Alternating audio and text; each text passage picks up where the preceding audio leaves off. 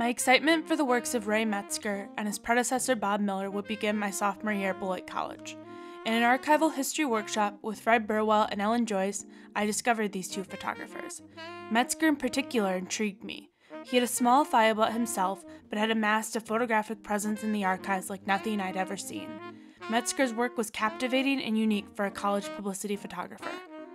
Metzker went on to an extensive career in art photography, what I found disheartening in my research is it felt like not many people had given care to Metzker's story. I wanted to understand him, from his talent to his ambiguity to his influences. Ray Metzker was born in 1931 in Milwaukee, Wisconsin, the son of Prussian immigrants. As a photographer, his high school years proved formative. He served as a staff photographer for the yearbook and was an active member of the photography club. His first camera would be the ever popular Kodak Brownie.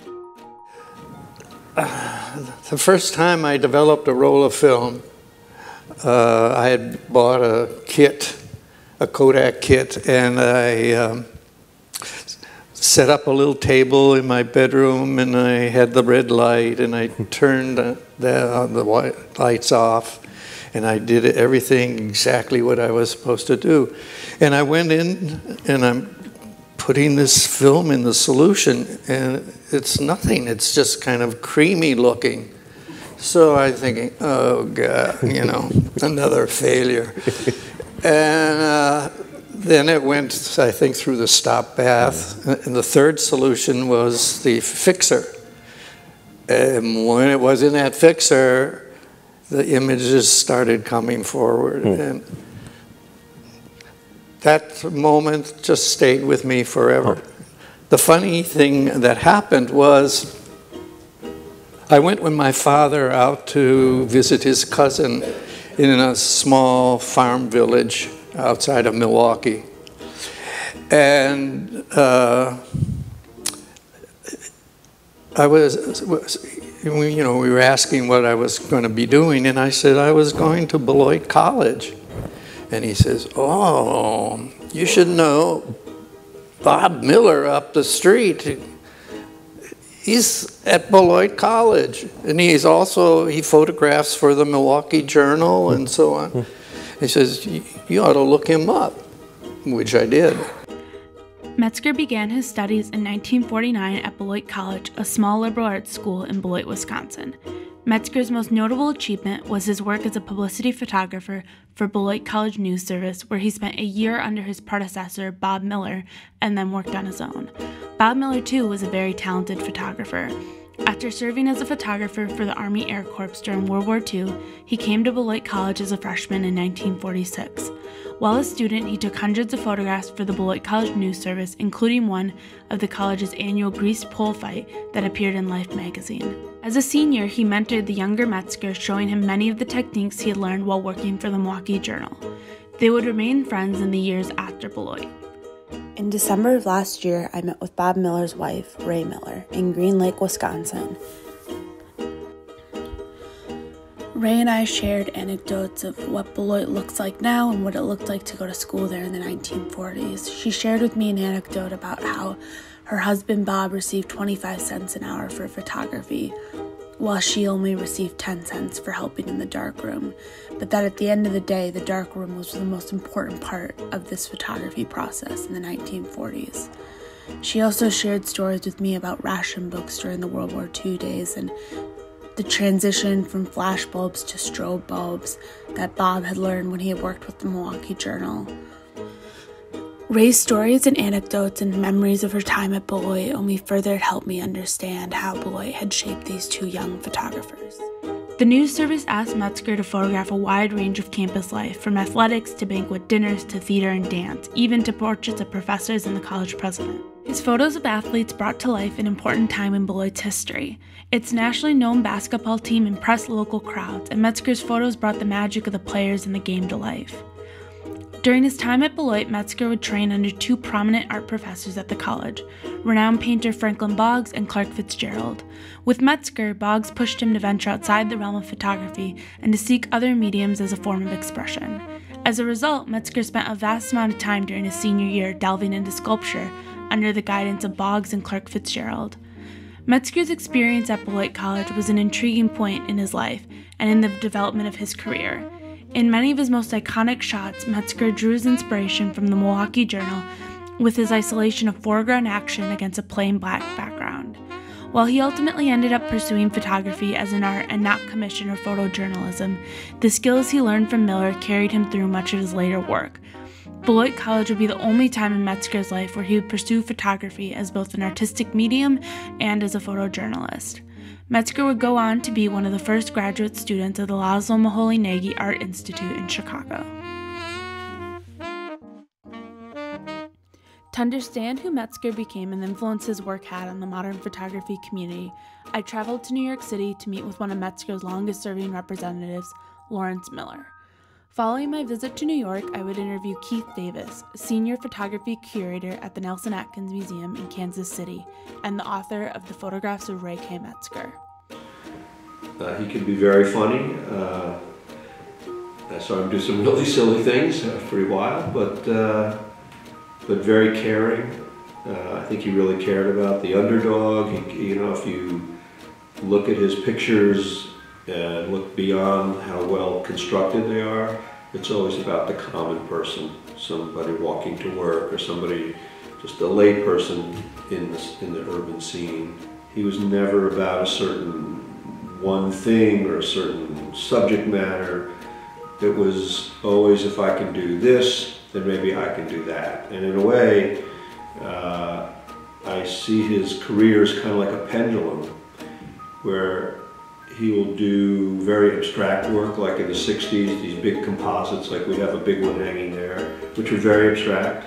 There's people in them, but they're playing like minor roles. And then the next, and then after that, for a few years, he started feeling a little guilty, like maybe he wasn't really showing enough care for the human being, and then he would go to the beach in Atlantic City and do that series Sand Creatures, which are really all about people just melting into the light and just revealing themselves.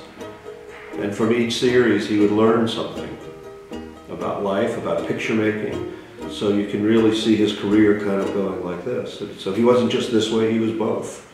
And he just kept building and building and becoming a more powerful and a more uh, subtle artist the exciting thing for me was what can you find, discover in what most people are walking by and mm-hmm. Uh, rejecting or dismissing. So that's always the kind of the, the excitement when that happens when you say this is such an ordinary thing but look at it it is a mm. photographic print you know it's it, it's what just keeps it going. It's, it's what feeds the, uh, you know, I, feeds the artist. That's what you get down on that path. Uh, I think Ray never felt that he finished using black and white. He never felt complete. There was always something more to explore. Because I asked him that. And I tried really hard to find his color photography. And I think to Ray's benefit, he isn't topical, meaning a lot of people are photographing their gender group or they're this group or they're that group and it's relevant to now, but those stories will be absorbed and we'll have new stories and Ray will always look like Ray. So it isn't narrative driven, it's visually driven, and I think that's to his credit he understood the tools of photography, the means of photography, in, in a really exceptional way.